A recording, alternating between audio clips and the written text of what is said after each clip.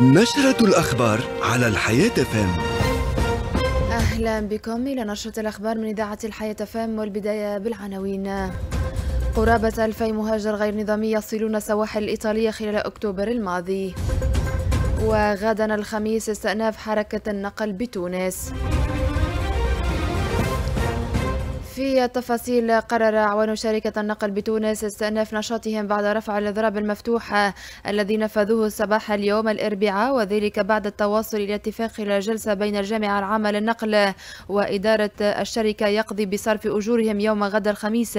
حسب ما صرح به الكاتب العام المساعد للجامعة العامة للنقل رضا الفهري كما أكد الفهري في تصريح لوكالة تونس إفريقيا لامبا أنه تم خلال الجلسة المنعقدة ظهر اليوم بين ممثلين عن الجامعة العامة للنقل والإدارة على الإسراع بتجديد الأسطول الذي تقدم وأصبح لا يستجيب للشروط وذلك في أقرب وقت ممكن وفي حدود الإمكانيات المالية للشركة.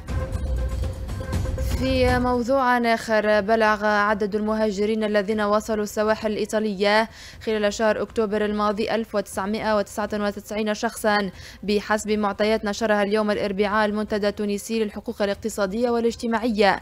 ورصد المنتدى في تقرير بعنوان إحصائيات الهجرة غير نظامية لشهر أكتوبر الماضي إحباط 326 عملية اجتياز للحدود فيما سجل إيقاف 5650 شخصا حاولوا اجتياز الحدود ومنذ بداية السنة الجارية سجل المنتدى التونسي للحقوق الاقتصادية والاجتماعية وصول 16292 مهاجرا غير نظاميا لإيطاليا مقابل 14342 مهاجر في السنة الماضية. اعتبر الأمين العام للحزب الجمهوري عصام الشابي خلال مداخلته الهاتفية في برنامج Recap Midi اليوم الأربعاء على موجات إذاعة الحياة FM أن الحكومة فاقدة لأي رؤية لإصلاح الأوضاع في البلاد وفق قوله. وأضاف الشابي أن الدولة تحتضر ولن تعد قادرة على تدريس التلاميذ ولا على توفير الخدمات الصحية للتونسيين.